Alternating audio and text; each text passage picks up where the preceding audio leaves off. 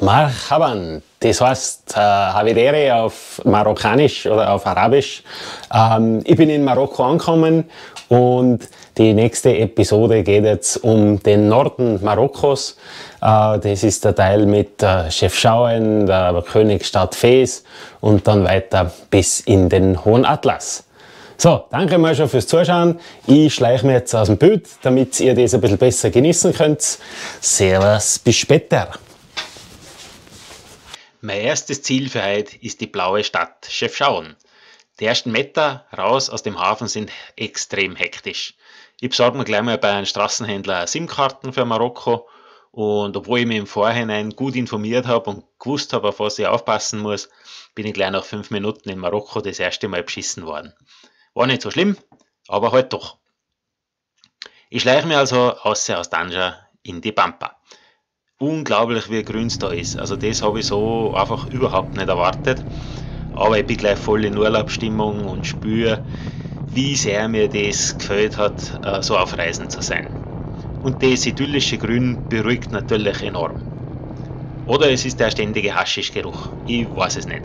Auf jeden Fall ist das Riefgebirge um Chefschauen bekannt für den Cannabisanbau. Der ist zwar in Marokko verboten, aber offensichtlich halt doch irgendwie geduldet. Auffällig sind auf jeden Fall die Haufen Polizei-Checkpoints entlang von der Straßen. Ähm, sicher alle 30 bis 50 Kilometer. Aber ich wäre immer durchgewunken, äh, wäre freundlich gegrüßt, es interessiert eigentlich keinen, wo ich da und wie ich da unterwegs bin. Kurz vor Sonnenuntergang erreiche ich dann Chef Schauen. Ich bin in Chef Schauen angekommen, habe mein Zimmer Balkon.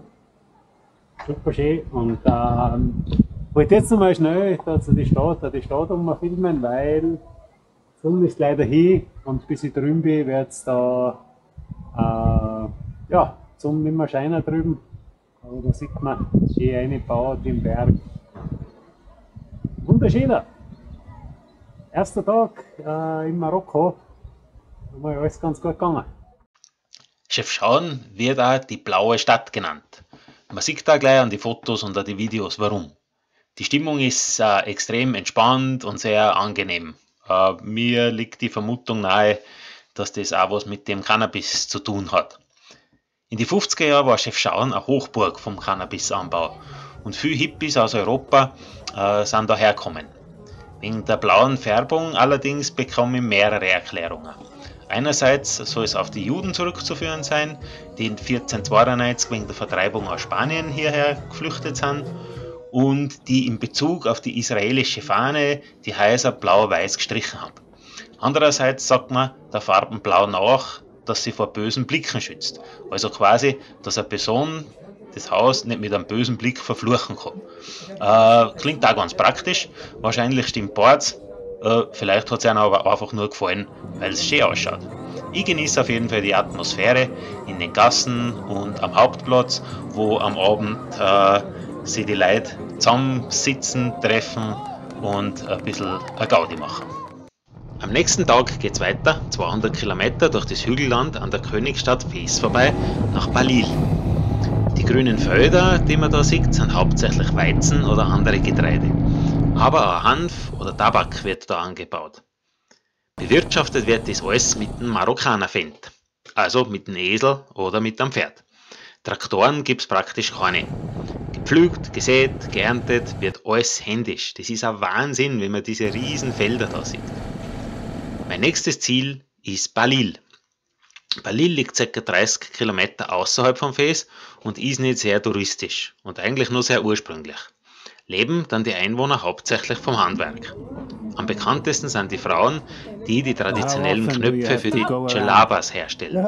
Das ist das traditionelle Gewand. Außerdem gibt es in Balil ca. 500 in das weiche Duftgestein eingeschlagene Höhlen. Die sind zum Teil, zum Teil sogar noch bewohnt. Der große Vorteil von diesen Höhlen ist, dass die Temperaturen im Sommer und im Winter in der Höhle immer ziemlich gleich sind. Der Nachteil ist, es gibt keine Fenster. Ich treffe in Balil auf den Kamal und seine Frau, bleib dort in, seiner netten, in seinem netten Gasthaus über Nacht und erlebe bei Tee und Abendessen das erste Mal die marokkanische Gastfreundschaft. Außerdem äh, habe ich zum ersten Mal das marokkanische Hauptgericht eine Taschine ausprobiert. Ich habe ja schon gesagt am Vortag, äh, dass ich an Fes vorbeigefahren bin.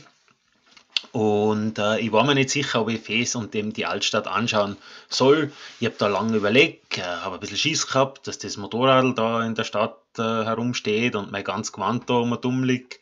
Ähm, andererseits äh, muss ein bisschen orientalisches Flair schon sein.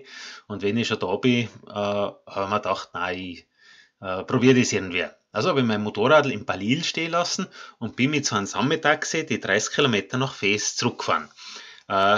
In dem Taxi waren sieben Personen, äh, es war ein Fünfsitzer-Taxi. Äh, dafür hat es aber nur 1,50 Euro gekostet oder so. Äh, ich wollte das eigentlich auch auf Kamera filmen, aber das war so eng drin, dass ich gar nicht an meine Kamera in der Hosentasche hingekommen bin. Äh, somit gibt es da keine Videos oder Fotos. Ich habe es jetzt geschafft nach Fes. Bin mit einem Taxi von Halil nach äh, gefahren und dann von Schafru weiter nach Fes mit so einem Sammeltaxi. Das genau kostet äh, 1,50 Euro. Sechs Leute da drin. Und jetzt äh, bin ich da vorne am Eingangstor ähm, zur Altstadt, zur Medina. Und da werden wir jetzt mal reinschauen.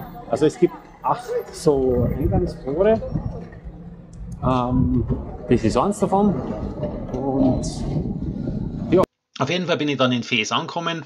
Äh, Fes ist die älteste der vier Königsstädte Marokkos. Daher soll eben auch da die Altstadt äh, besonders ursprünglich und orientalisch sein. Durch sieben Tore kann man da in diese Altstadt hinein, also da geht es eine Stadtmauer rundum, gibt sieben Tore, wo man rein kann. Die Straßen sind da so eng, dass eigentlich kein Auto oder Motorrad fahren kann, beziehungsweise sind nicht erlaubt. Äh, zum Teil sind die Gassen nur 50 cm breit, wenn man so in die Seitengassen reingeht. In der Altstadt sind dann auch diese typischen Sucks, also das sind die kommerziellen Viertel mit Leder, Metall und Keramikhändler und, und Handwerker. Da kann man Stunden verbringen und shoppen und staunen und sie verlaufen. Also man verlauft sie ganz sicher. Das ist auch zum Teil äh, so gewollt. Ähm, also einfach, dass man da innen äh, herumgeht und herumschaut und äh, sie da richtig verliert quasi in diesem Flair.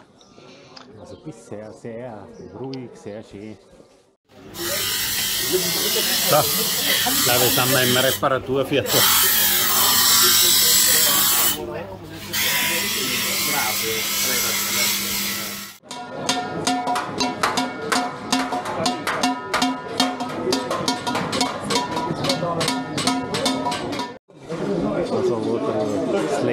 bearbeitet wird und eingefärbt wird. Und da werden wir jetzt mal schauen, ob ich da hinfinde. Beziehungsweise werden wir da mal hingehen. Ein Highlight äh, ist diese Karawin-Moschee. Die ist gleichzeitig die älteste existierende Universität der Welt. Äh, da sind angeblich oder ist angeblich unser Zahlensystem erdacht worden. Zwar haben die Römer auch schon Zahlen gehabt, klarerweise, aber mit denen Zahlen hat man keine Berechnungen durchführen können. Die Araber haben schon die Zahlen 1 bis 9 gehabt, aber erst mit der Erfindung quasi der Null ähm, hat man jetzt auch richtig rechnen können.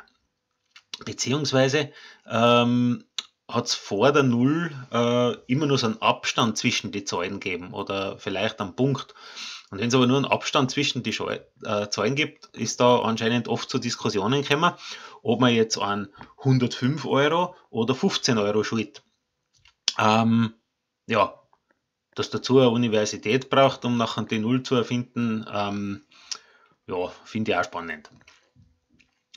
In den Sucks sind die Gerbereien von Fes. Auch natürlich ein großes Highlight beim Besuch von der Altstadt. Aber nur für diejenigen, die da nicht arbeiten müssen, äh, sondern wo von oben von der Terrassen aber zuschauen können. Für die, die da unten hüftig im Sudum stehen, ist das wohl eher nicht so das Highlight. Obwohl mir gesagt wird, dass zum Gerben und Färben der Leder nur natürliche Mittel verwendet werden, äh, also zum Beispiel Taubendreck zum Färben oder Urin, damit das Leder schön weich wird, äh, weiß jetzt nicht, ob ich das unbedingt machen möchte. Skurril wirkt es auf jeden Fall, wenn du da oben stehst, auf der Terrassen und, und äh, da als der Rust, Tourist äh, quasi die Arbeiter von oben herab so beobachtest. Das ist fast wie ein Zoo, wie du zuschaust. Äh, ja, und dann gehst du in das Geschäft rein und kaufst da einen Gürtel oder einen Schlapfen oder einen Polster aus Leder. Also äh, einerseits natürlich sehr lehrreich und äh, auch sehr gut für die Erweiterung des eigenen Horizonts, gerade zum Thema Weltanschauung und äh, wie gut es uns doch geht. Äh, auch äh, sehr gut zur Wertschätzung von so Arbeiten, wo die Sachen herkommen. Andererseits natürlich schon ein bisschen ein beklemmendes Gefühl. Okay. Let's see. Go Let's ahead. see. Try to to get more. Ja. Also, du musst, damit du die Gerbereien sehen kannst, äh, da ist ein Laden rein, die stehen auf, sonst du kannst zwar schon zur Gerberei rein, aber ähm, siehst du es dann nur von unten. It means, you know why? To Uh, cover the uh, smell. yeah. In case for the smell. So, Minze Yeah, exactly. für den Gestank. Very good. Und dann müssen wir natürlich da voll durch den ganzen Shop durch. Ah, Paradies. Shopping Paradise. Taschen, Taschen. It's all made here. Yes. Yeah. Because we Not the- the channels we have the designers. okay. They work for the clock, okay? So, gibt's da. This is the first balcony. Okay. Next terrace we go to like that. Go to there. To go there just four steps. Okay. Try to get pictures. Und da siehst du eben aber auf diese Gerbereien. Stinkt furchtbar. A deep breath from the Minze. Nach dem kleinen Rundgang durch Fes habe ich die Altstadt wieder durch eins von die Tore verlassen und mich wieder auf den Weg gemacht. Mein Ziel noch äh, für den Tag war das Atlasgebirge. Ähm, auf der Karte sieht man, wo ich mich gerade befinde, da wo der rote Punkt ist. Genau da habe ich auch das Foto gemacht. Äh, böse Zungen behaupten ja, ich war da nur oben am Pastoren und habe in die hohen Dauern um mich fotografiert. Aber nein, ich bin da gerade am mittleren Atlas und ähm, die schneebedeckten Berge da hinten ist der hohe Atlas. Und da habe ich mir schon das erste Mal Sorgen gemacht, ob ich da wohl drüber komme über den hohen Atlas, weil da liegt noch richtig viel Schnee. Bevor ich aber da hingekommen bin, ähm, habe ich noch übernachtet und mir sind da schon beim Hinfahren äh, eine Zeit lang ein paar skurrile so Schaftransporter aufgefahren. Und bei der Suche dann am Abend, nach einem Abendessen, habe ich dann die Schafe wiedergefunden. Äh, habe es aber fast nicht mehr wiedererkannt. Da hängen also die Schafe so direkt an der Straße und du kannst da ein Stück abschneiden äh, lassen und dann gleich, gleich direkt vor Ort äh, an der Straße grillen lassen. Ich war an dem Tag sowieso recht abenteuerlich aufgelegt äh, und habe mir gedacht, ich muss sowieso auch noch ausprobieren, ob der mitgebrachte Schnaps von daheim auch gut zur Desinfektion taugt und habe mir da so ein Lammkotelett bestellt. Eigentlich ist es auch wie im Wokhaus. Da sagst du aus, er schneidet an, dann drückst du es um und er grinst.